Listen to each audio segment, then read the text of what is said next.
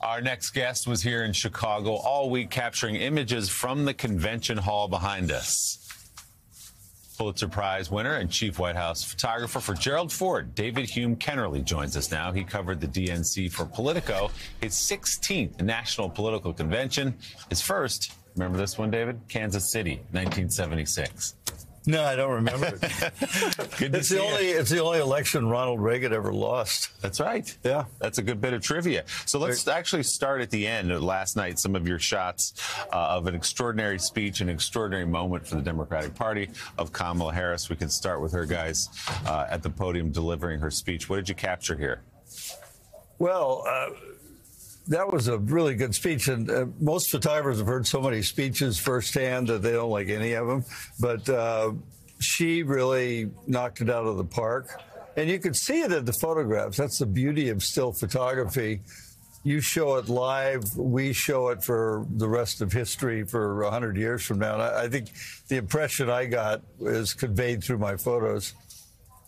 She really did a good job. And the moment afterward where the second gentleman came out on stage, Doug Yes. Emhoff, captured that moment as well. What do we see here? Got it, guys? I think you got him out of. uh, well, there's something else, but we'll talk about that too. That's the second gentleman on the left. Uh, this is a typical. This is your basic political postcard. Everybody shoots it. I always like getting off to the side a little bit, and uh, the, this was the one where they all got together. There was never a good two shot of uh, of Walz and um, the VP. I kind of lamented that.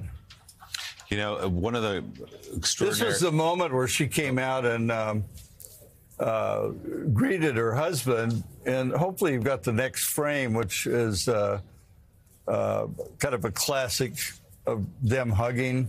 yeah, he pulls her in a little closer. I'm not sure if we have that. There it is. Ah. There it is.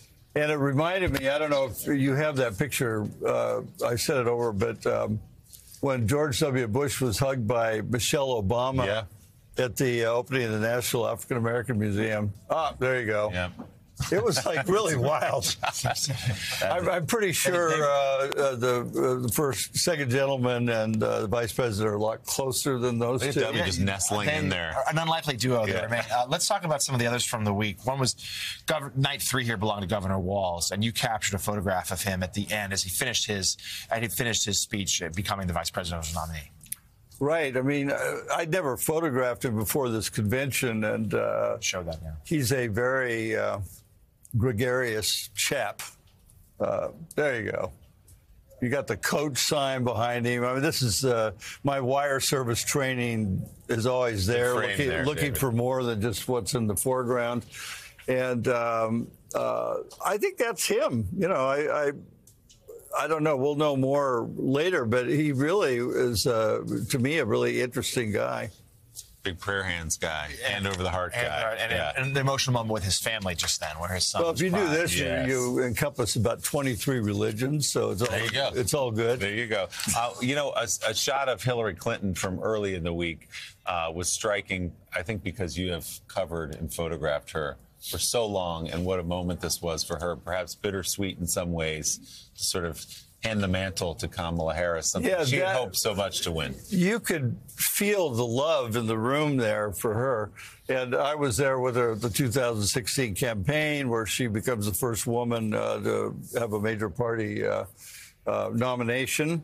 And I first photographed her in the judiciary hearing room when they were impeaching, impeaching Richard Nixon in 1974.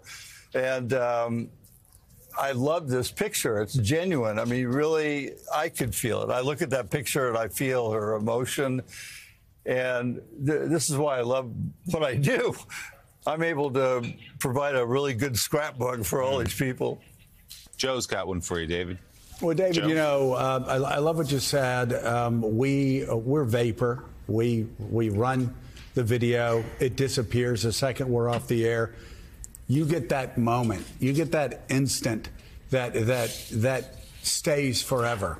And there's one moment you got that I think is just beautiful, and it shows Kamala uh, backstage as Joe Biden is talking, uh, and and her weeping Um, it, it obviously very moving to her, as it was uh, for Joe Biden. If we could get the next picture of Joe Biden Well, we have. um, there when he was talking as well. Uh, but yeah, you get so, some great moments here. Uh, thanks, Joe. Well, I, I, that's what I live to do. Uh, and uh, she really did react when Biden was standing at the podium and uh, every just a standing, long, rolling applause. Uh, I think some of it was probably in relief that they now have a candidate who's going to become president of the United States. Uh, but um, uh, that photograph of Joe Biden was a pensive moment, and it has to be incredibly overcoming for him. And uh, uh, I really, I didn't think he would go out, but he did, and uh, he, he's a great person. Yeah, it's, a, it's an amazing shot. David, let me ask you we're bookending two conventions, probably. Uh, your, your, your career, probably the two most unique conventions of our lifetime, uh, are of your professional uh, lifetime. 1976, I still remember it. Uh, Reagan and Ford. Uh, the last convention that really mattered, you you didn't know uh, for sure that Ford was going to nail that down until he did. And then, of course, this convention in 24, all these years later, a convention unlike any other. Uh, uh, compare the two. Uh, just talk about talk about your memories uh, over all these years of covering conventions. Well, in 1976, you had a couple of white guys there, which is pretty normal for the American political system. But I was President Ford's uh, chief White House photographer. I was backstage with him. Uh, and he picked Bob Dole at, at, that convention. I mean, there was uh, it was really dramatic. But I think what happened here, and uh, this is way more of a, a TV show on one hand, but uh, I really felt the the good vibe here. I mean, I think uh, Kamala Harris has become the story. Sorry for D- Donald Trump because he he's not going to be the person people care about anymore, other than to probably see him go.